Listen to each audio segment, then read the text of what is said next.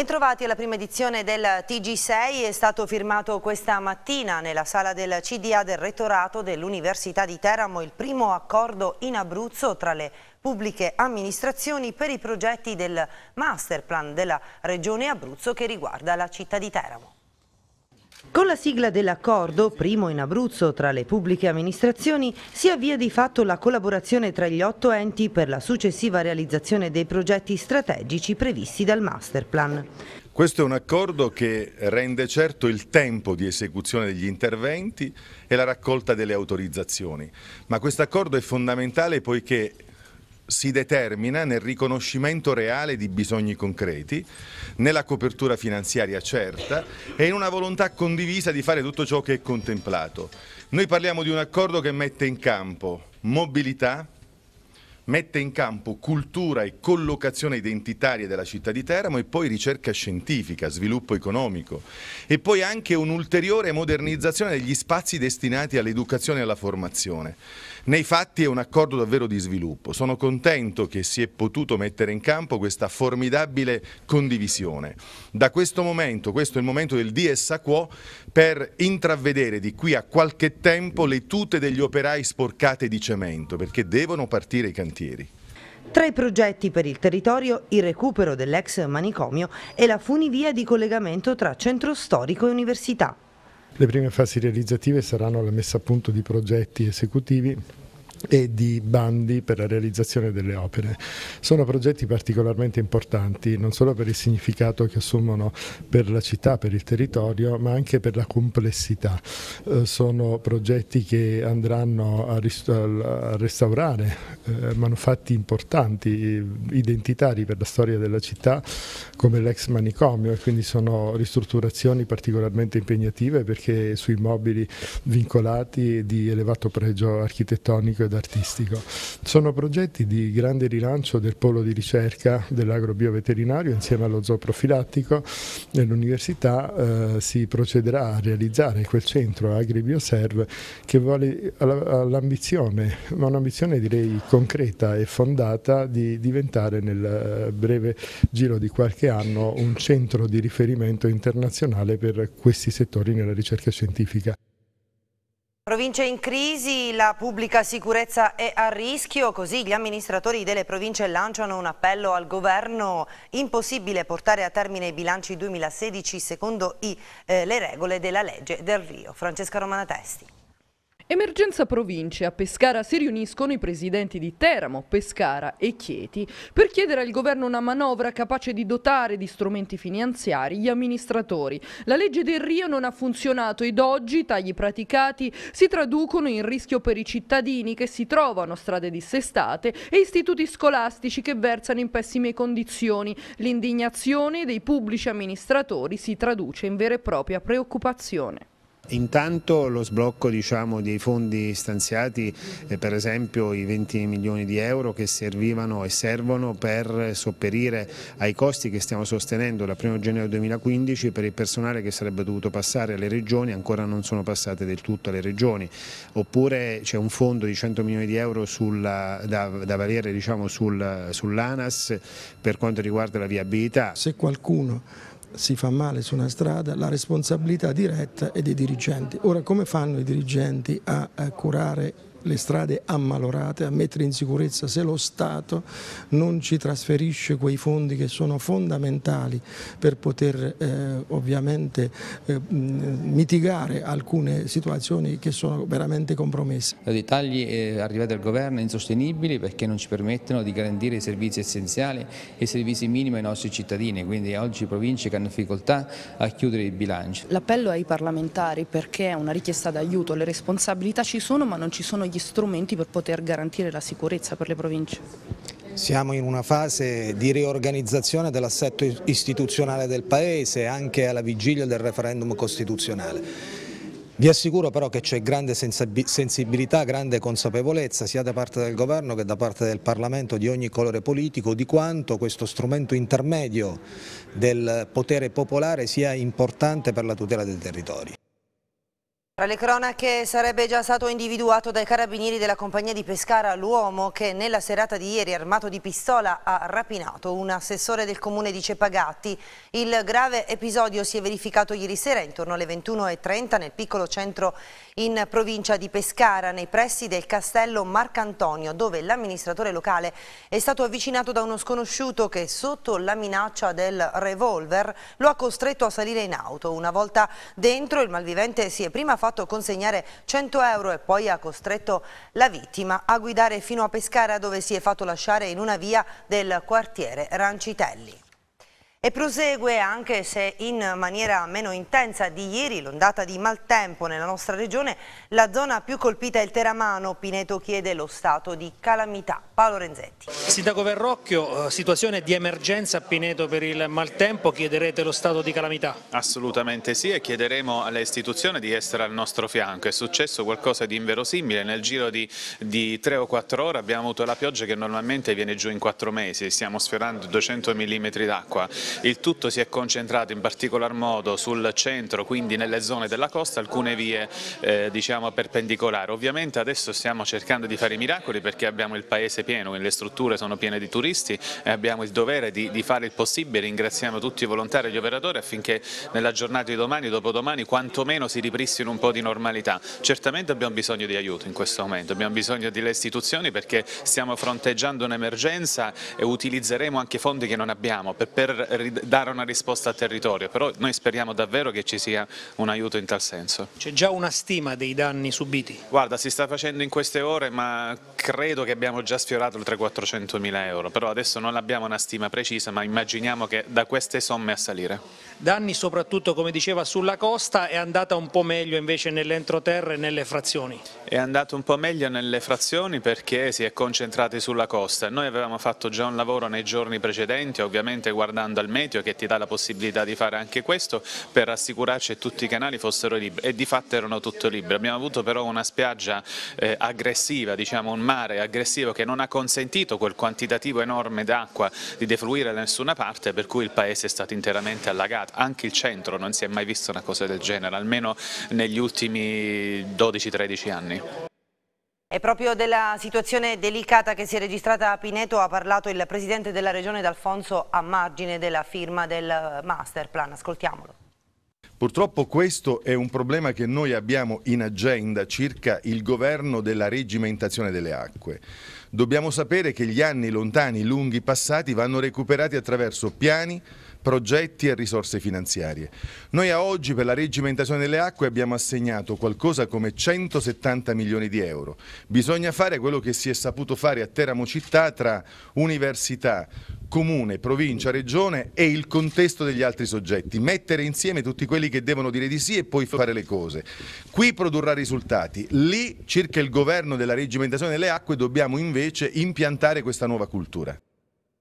E a seguito del maltempo che ha interessato la nostra città, ha scritto in una nota il vice sindaco di Pescara del Vecchio e della comunicazione che ci giunge dall'ACA di avvenuti sversamenti dei propri impianti di acque nel fiume Pescara e nel fosso Valle Lunga l'amministrazione comunale come da procedure ha avviato la comunicazione del divieto temporaneo di balneazione agli stabilimenti balneari attraverso i relativi cartelli. Tale divieto si estenderà per le 48 ore successive alla fine della, delle operazioni di sversamento. I divieti di balneazione riguardano i punti classificati con acque scarse a nord dalla Capannina ad Aibin, mentre per la riviera sud, per Fosso Valle Lunga, si estende dal Circolo della Vela alla Zattera. E ad Ortona il centrodestra critica aspramente l'operato del governo D'Alfonso sul caso del, de, del, dragaggio del porto di Ortona tra lungaggini e ricorsi al TAR a rischio i 9 milioni di fondi FAS 2007-2013. Un rallentamento che potrebbe costare alle casse della regione ben 9 milioni di euro. A lanciare l'allarme ancora una volta è il presidente della commissione di vigilanza, Mauro Febbo, che sull'atteso dragaggio aveva più volte messo in guardia il governo regionale. Oggi la situazione si prospetta con un nuovo interrogativo che, attendendo i tempi burocratici del ricorso in atto, potrebbe far perdere i fondi FAS ottenuti dalla giunta Chiodi. Gli sviluppi giudiziari in buona sostanza ulteriormente creato confusione per quanto riguarda poi l'effettivo svolgimento del dragaggio. In effetti siamo al punto che la sentenza di primo grado che affidava, anche se per via indiretta, al secondo classificato è stata impugnata in sede di appello e lì è stata concessa la sospensione per cui eh, se va bene fino a settembre non si fa nulla. Al centro delle titubanze del centrodestra l'assenza di una vasca di colmata che raccolga i 60.000 metri cubi di sabbia inquinata. Secondo i dati a disposizione, la ditta che dovrebbe eseguire i lavori prevederebbe il deposito sulla banchina e da qui l'interrogativo di chi poi dovrà sostenere i costi di smaltimento. Avremo un mucchio di 14 metri di altezza che eh, senza poi sapere chi in effetti poi chi li dovrà smaltire, a spese di chi e chi, insomma è una confusione totale nel vero senso della parola. Qual è invece il suggerimento del centrodestra per la questione? Ma a questo punto io non penso che si possano dare suggerimenti, anche perché noi il suggerimento quando i tempi erano ancora utili eh, avevamo detto fermatevi, cercate di capire perché il problema sono sempre lo smaltimento di quelle sabbie inquinate.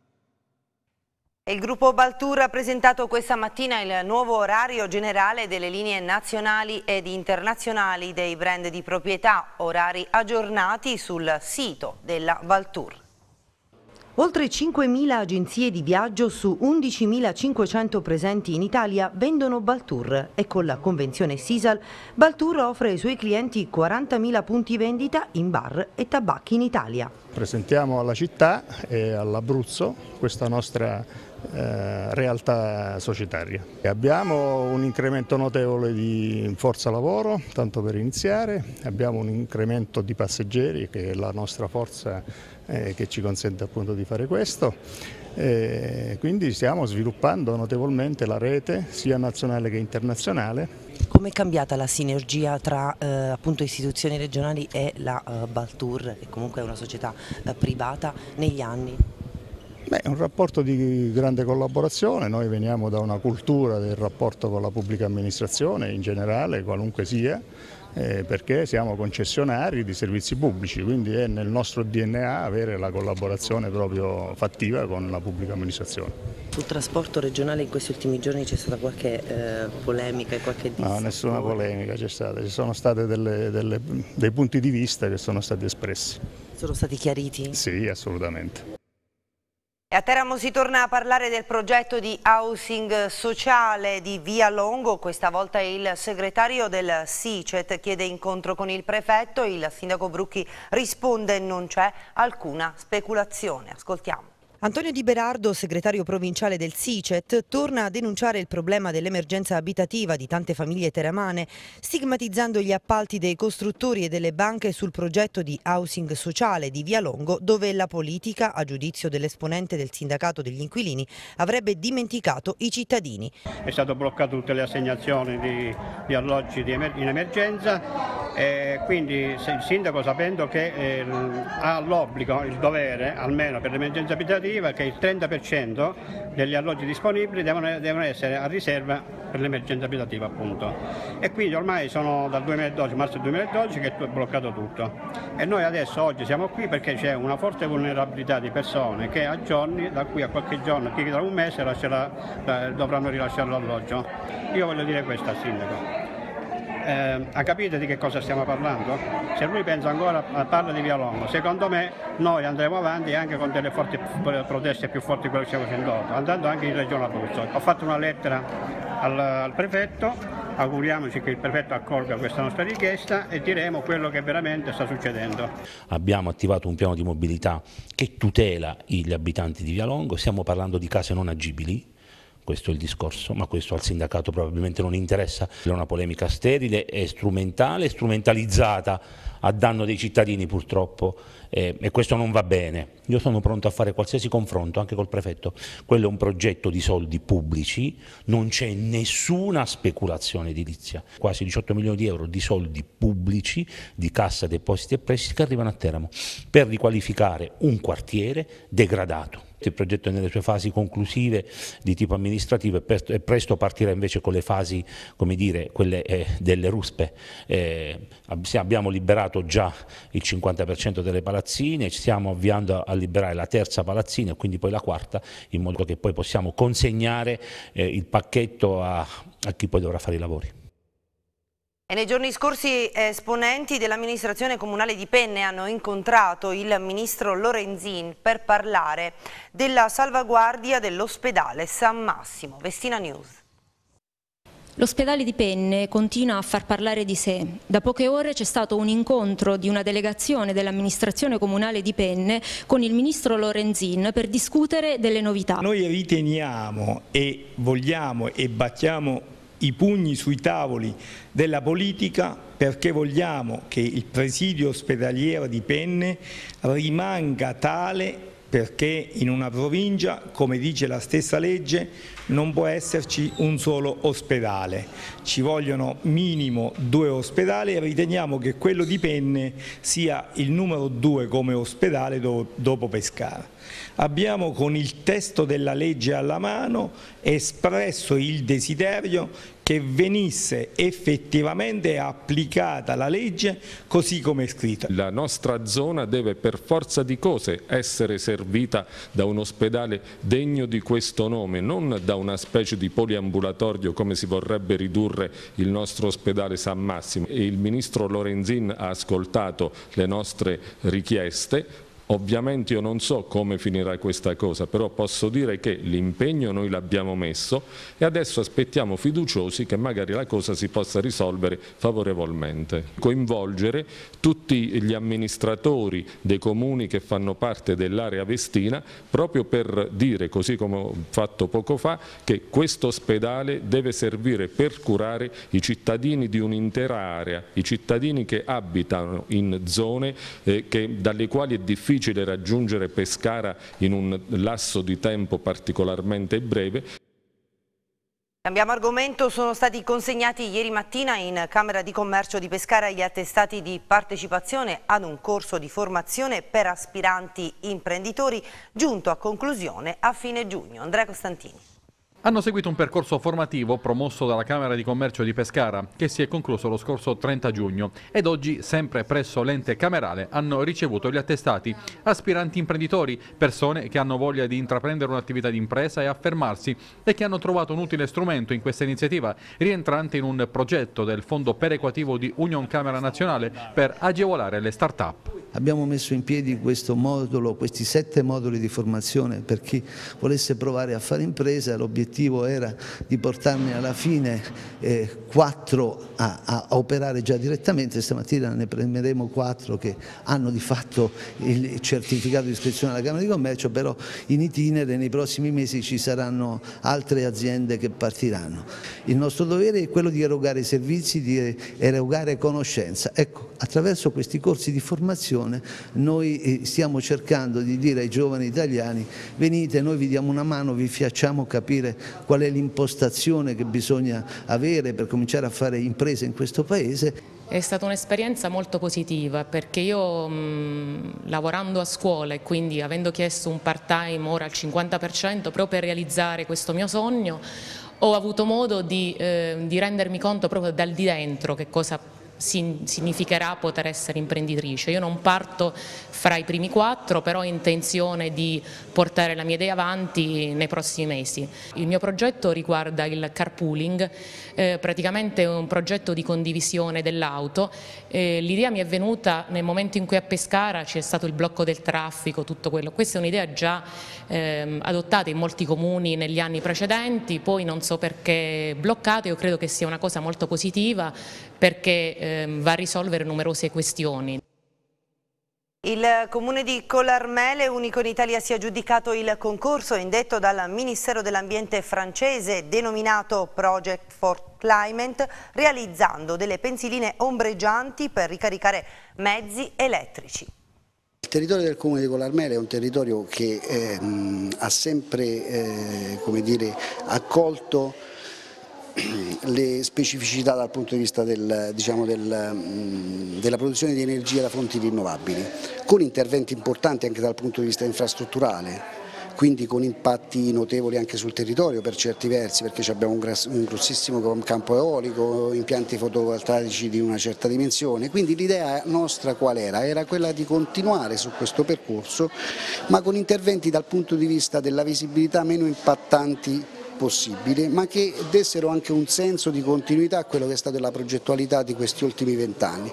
E abbiamo pensato alla mobilità, territorio montano interno che ha problemi di mobilità e quindi abbiamo creato questo sistema di mobilità intelligente a impatto zero che ci consente appunto di impiantare queste, queste eh, tendine, questi eh, impianti, piccoli impianti fotovoltaici che alimentano degli generatori che poi serviranno per, per ricaricare sia i veicoli elettrici che le bici elettriche. Abbiamo stimolato la presentazione di progetti, di soluzioni concrete come questa di Collarmele, ma ce ne sono anche altri, in Abruzzo ne hanno fra comuni, eh, scuole, cittadini semplici, hanno presentato 19 su 587 progetti in totale, che poi sono stati inseriti su questa piattaforma online eh, e che poi sono stati votati da tutto il mondo. È la dimostrazione che a volte con l'azione locale, anche dei piccoli comuni, si riesca davvero a produrre delle soluzioni concrete, delle tematiche su cui magari i governi eh, nazionali eh, di tutto il mondo stentano ad essere al passo con i tempi. Abruzzo e Iran hanno punti in comune più di quello che si possa immaginare. Si aprirà domani e fino al 27 agosto all'Aurum di Pescara la mostra denominata Popoli e Terre della Lana.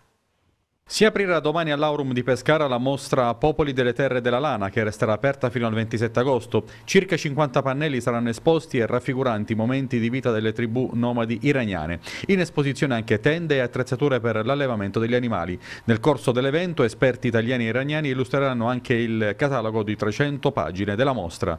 Un grandissimo evento di rilevanza internazionale portato a pescare in Abruzzo e che sicuramente sarà diciamo, il trampolino di lancio e la vetrina per l'Abruzzo in questo contesto internazionale. Quello che noi rappresenteremo praticamente è quello che è stata la transumanza e che rappresenta tutt'oggi la transumanza Italia e quello che attualmente è eh, la, la, transumanza e la pastorizia eh, itinerante in Iran tribù che vivono costantemente quotidianamente dell'attività pastorale, quindi la mattina escono al sole al pascolo, eh, fanno pascolare, la sera rientrano e al calare del sole c'è la mungitura, dopodiché c'è eh, il rito del tè e poi c'è la cena, stare attorno al fuoco, tutte cose che noi racconteremo in questa mostra che è entusiasmante.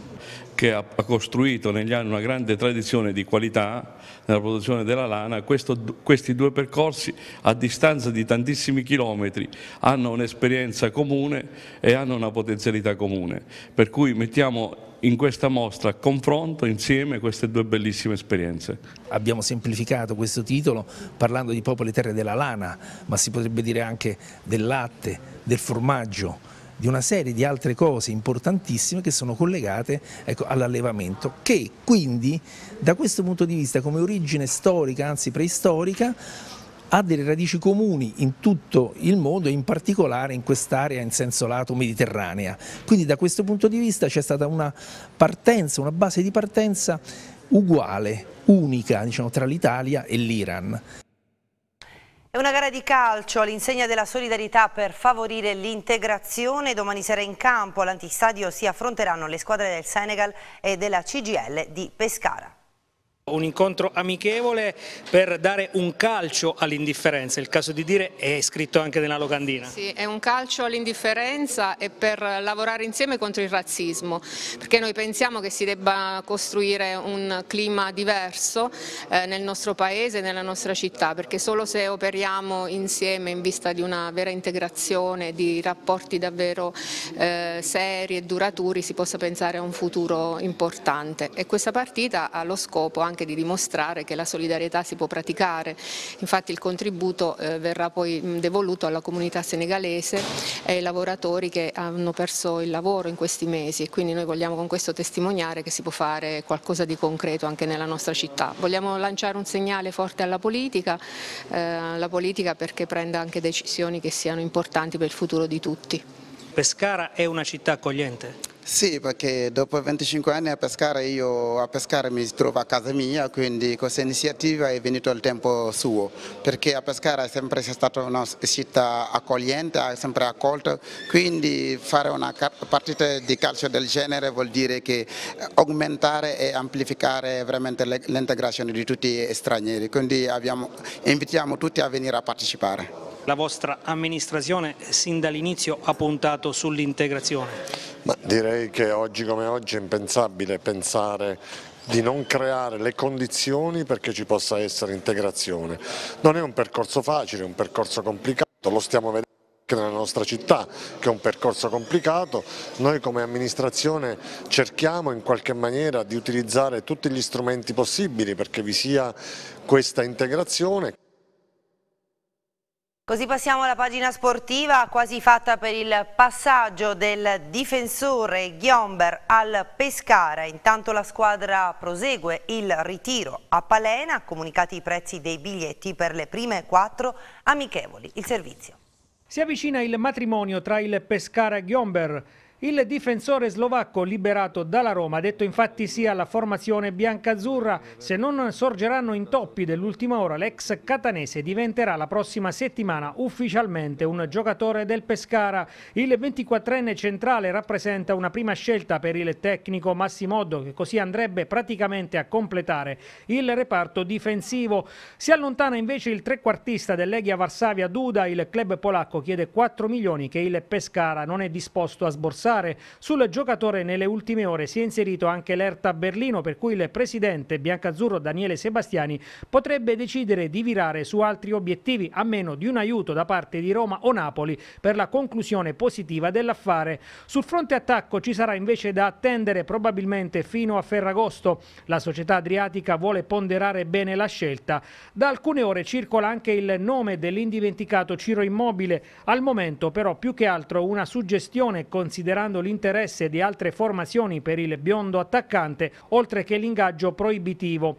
Matri ed Osvaldo restano ipotesi percorribili, ma solo se i due calciatori abbasseranno le pretese economiche. Intanto sono in partenza gli attaccanti Forte e Cocco. Il primo andrà al Teramo, il secondo a Frosinone, dove ritroverà il suo ex allenatore di Vicenza, Pasquale Marino. Anche Di Massimo potrebbe essere ceduto in prestito. Fissati intanto i prezzi dei biglietti per le prime amichevoli stagionali stagionali del Pescara. Per le gare con Palena e Pineto si pagherà 5 euro, per le sfide con Teramo e Frosinone 8. Andiamo in Lega Pro, il neoattaccante Antonio Croce si dice contento di essere approdato a Teramo, il paragone con i grandi attaccanti del passato biancorosso dice il giocatore è uno stimolo a far bene e lasciare il segno nel prossimo campionato. Ai microfoni di Jacopo Forcella. Antonio Croce bentornato in Abruzzo, verrebbe da dire, perché insomma ci ricordiamo le tue esperienze sui campi abruzzesi, questa volta con la maglia del Teramo. Sei pronto? Sì, sì, innanzitutto grazie per il bentornato. E, ehm, sì, Teramo diciamo come tutto l'Abruzzo la sento un po' come, ripeto, come la, la seconda casa, perché comunque qui ho passato uh, dei momenti, un paio d'anni, quindi sono stato benissimo, quindi uh, oltretutto conosco pure l'ambiente di Teramo, quello che, che pensano le persone, la gente e quindi mi rimetto in discussione con grande umiltà, grande sacrificio in una piazza importante. Su di te ha scommesso moltissimo eh, il direttore eh, sportivo Fabio Lupo con cui hai lavorato l'anno scorso a Monopoli centrando una salvezza al play out sul field di Nana ma centrandola.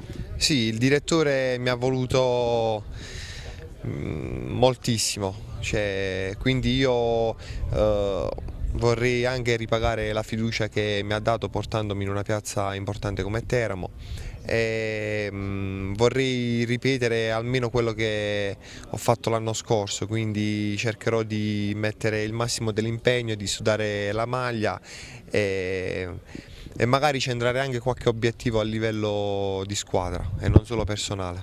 Anche perché negli ultimi, soprattutto nelle ultime due stagioni, chi arriva a Teramo e di ruolo fa l'attaccante purtroppo ha l'ingrato compito di misurarsi con due che non ci sono più, ma che rimangono negli sì. occhi di tutti, è una cosa sì, pesante. Sì, è, mm, per me invece è, una cosa, è, uno, è uno stimolo in più. eh, perché comunque eh, sapendo la storia del Teramo, i giocatori che sono passati, eh, vorrei almeno lasciare un, un segno come l'hanno lasciato loro, quindi eh, entrare tra virgolette nella storia di questa, di questa società. Ed è tutto per questa prima edizione del TG6, l'appuntamento con l'informazione torna puntuale alle ore 19. Grazie per l'attenzione e buon proseguimento.